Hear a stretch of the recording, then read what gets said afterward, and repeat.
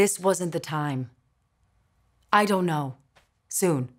When my business is working. When a lot of lowlife.com scumbags aren't selling me bogus data. Next week, later tonight, but not right this minute. Why do you care so much? Why does everything have to depend on my readiness to get laid? Why am I so important? You have this magical idea about family. Like it's this eternal Disney world where everyone's smiling and warm and available 24 7. It's twisted, Adam. And it's beginning not to be a convincing excuse that you didn't grow up in one. When family is working, it's a nice thing. But when it's not, it's hell. And that's how it stays until it gets good again. Tonight's a down. This month, this year is a down, and there'll be worse to come, I promise you. But we'll get through it if you'll allow things to be difficult. If you understand, sometimes I'm a cunt.